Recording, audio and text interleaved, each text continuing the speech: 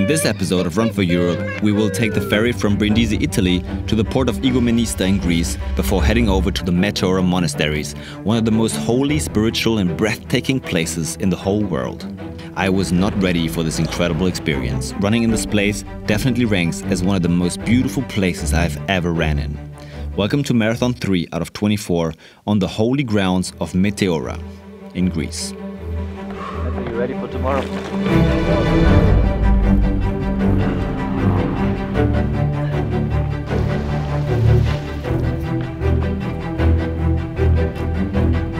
Let's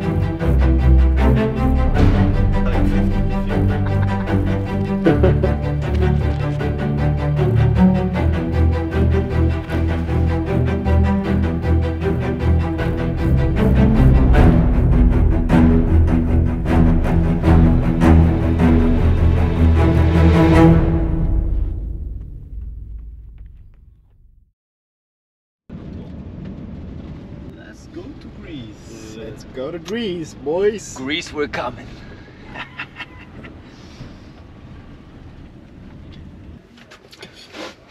Some pasta with peanut butter. Yeah, this, this sauce, is really good. this sauce would be great in a salad, but in a pasta, This is not uh, Italian pasta. this is some shit uh, from Germany. this is some shit from Germany. No shit in Germany.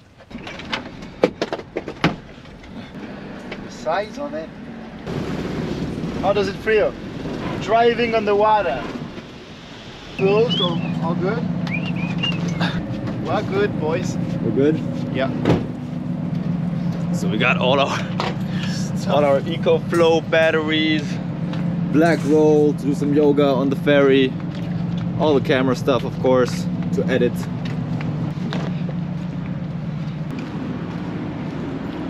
Welcome on board. Welcome on board. Are you the captain, Marcel? Obviously not. he is. He is.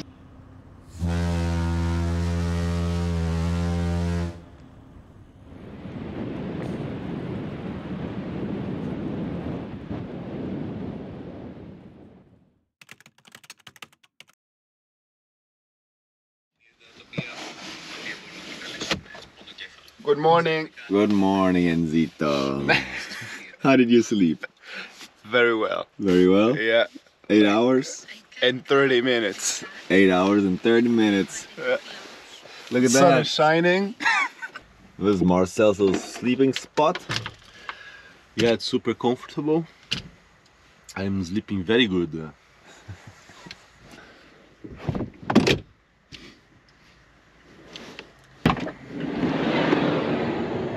Wow. Well, good morning, Greece. It's looking pretty good. What a bay, man. It's beautiful, no? Beautiful place. Yesterday we arrived in the dark, so we're kind of discovering the spot. Well, it feels a little bit like Brazil because it's so green and the mountains. Morning coffee. So we arrived in Greece yesterday evening. Igoumenista, which is the port where we docked yesterday from Italy. It was raining heavily this morning, but now the sun came out. We're gonna have lunch there. Marcel cooked some nice rice for us. And then we're off to Meteora Monasteries, which is supposed to be a magical place two hours from here. Um, we're meeting with some locals there and can't wait to run there. It's supposed to be absolutely stunning. Can't wait to show you. The first run was a real struggle because we did lots of mistakes. I almost got hypothermia. The second run yesterday, much better. We were much better prepared.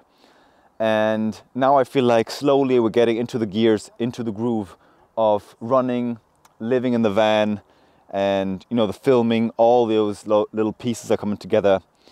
Super hungry. Let's have lunch. See you later. What a beautiful view, man. to have lunch in the open, in the outside. After a great lunch, we decided to take advantage of this great weather and breathe for a bit. The last few days have been hectic, and we did not get the chance to relax at all. When we were not running, we were driving. And when we were not driving, we were filming a project, cooking, doing a laundry, or eating somewhere on the go. We realized that this trip was going to be packed with action non-stop. And as today was a rest day and the sun was out, we decided to go for a little recovery session on the beach and for a dip in the sea before heading over to the holy monasteries of Meteora. The experience that awaits us there is out of this world, so make sure to watch until the end. It's go time. It is go time thank you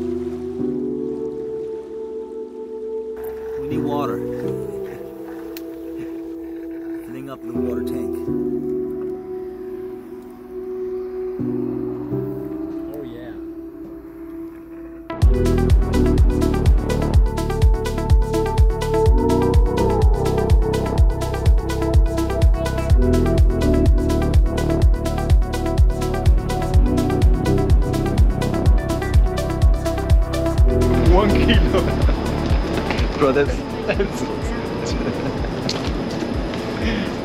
We got our our Brazilian friend. He's looking for the meat. What are we getting, mate? Spinach. What do we need? Hey, we can buy some Greek yogurt.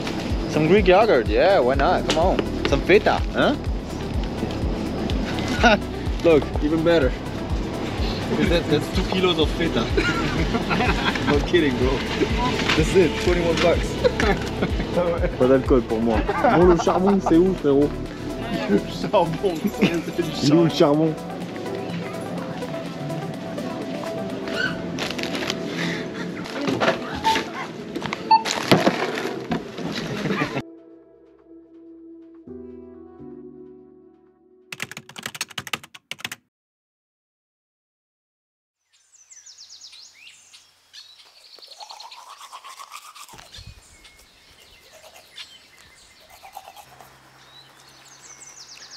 Hey everyone, we are here in a very holy place, the Meteora Monasteries, here in central Greece. You can see them in the back here.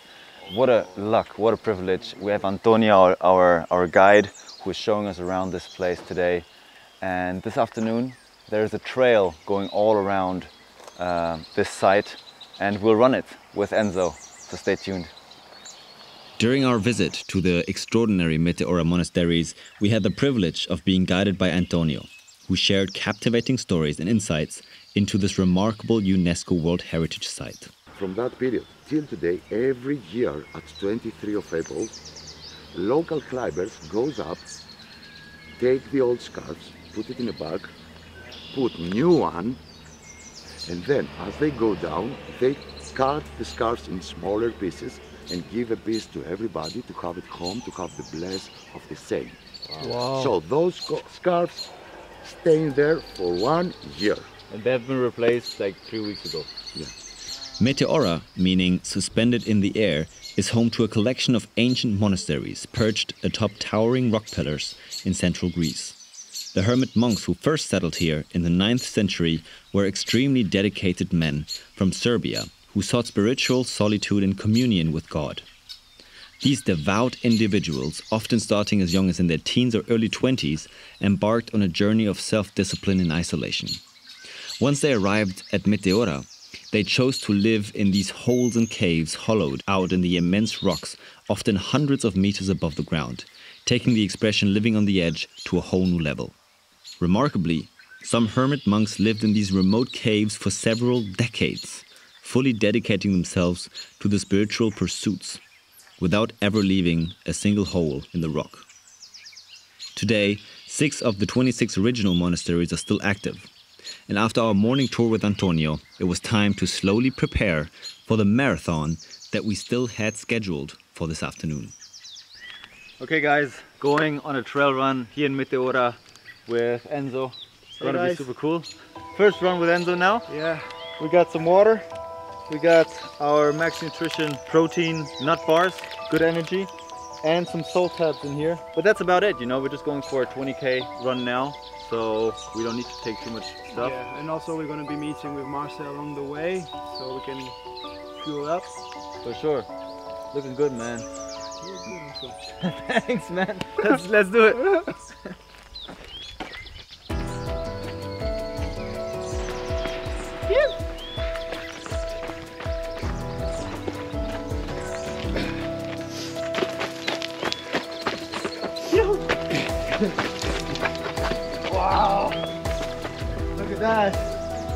Incredible.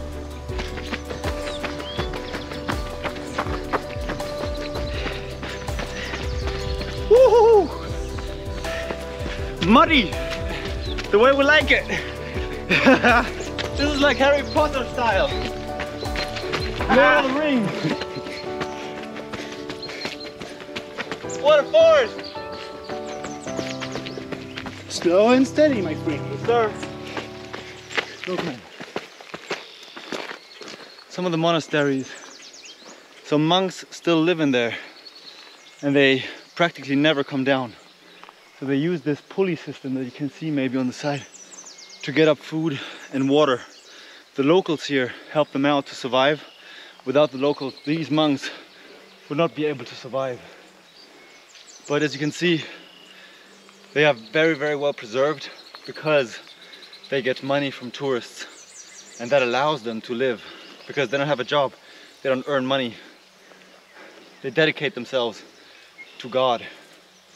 And traditionally, they are up there in those cliffs to protect themselves from from enemies.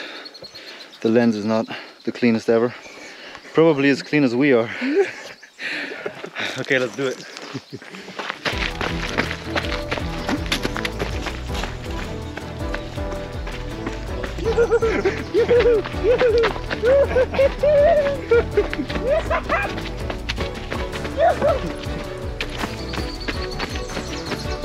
This man's crazy!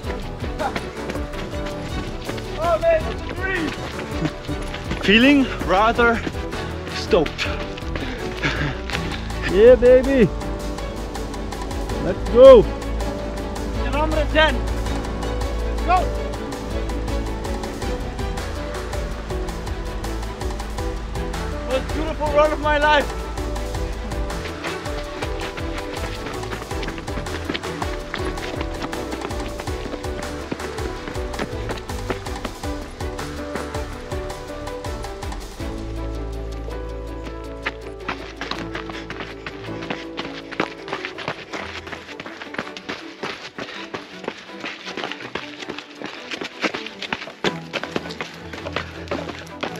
So much fun.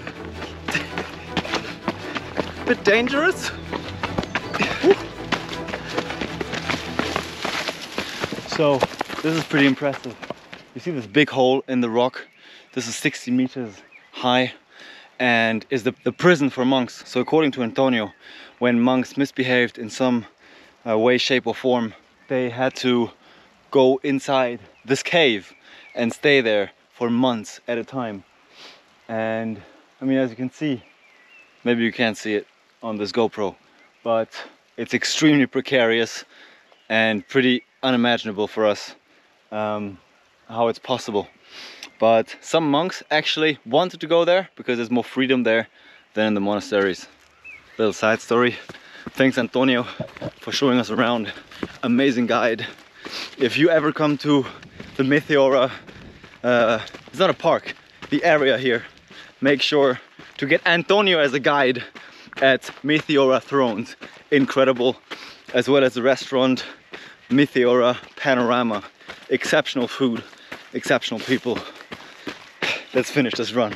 Woohoo!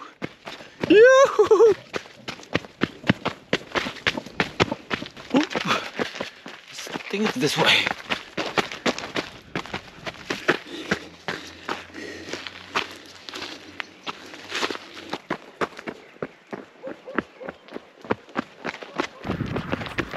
What up, man? Oh, man. How does it went? Really, really good. Yeah? Yeah, just Nice trail? Give me your super nice. But I had to all the time check if I'm on the right one because there's so many Yeah. intersecting, you know. Little Max 5, little protein nut bar.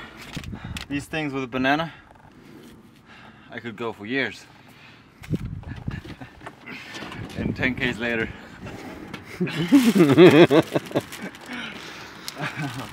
Oh, smelling like, like cheese. Look Oh, at this don't cheese. film what's in there. Max 5 for my boy. mm-hmm. Mm-hmm. EAAs, BCAAs for muscle recovery, zero sugar, caffeine to get you going, and some vitamins. There's nothing better. The protein's in here, the energy's in there. So I just finished running the Meteora trail loop with Enzo and now we found this this road under construction which is again pretty perfect for running because it's all flat, no cars. So I'm just gonna grind it out. I'm at kilometer 20, so 22 to go. Let's do it.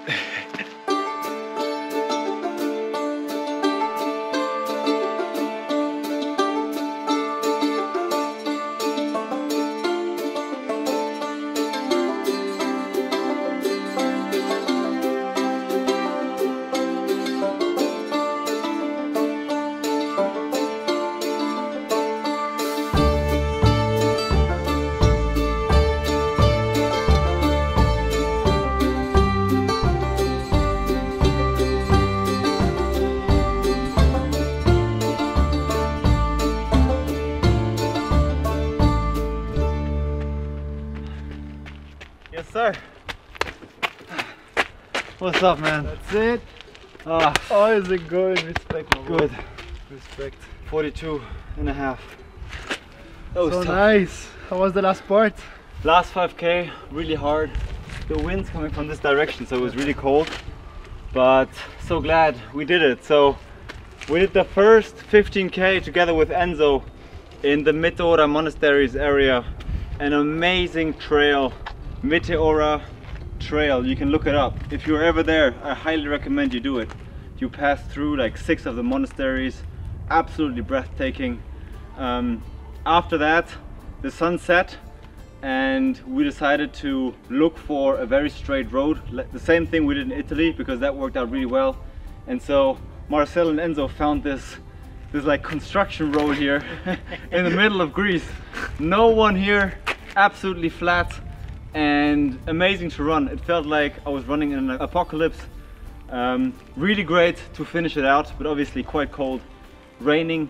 Uh, now I'm so glad I did it.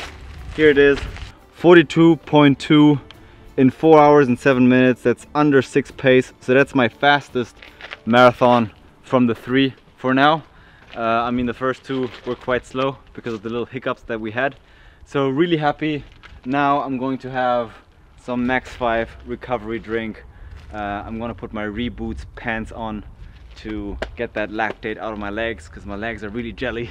And I think Enzo prepared a soup for me. Nice So- soup cooking right here. Yeah, for sure.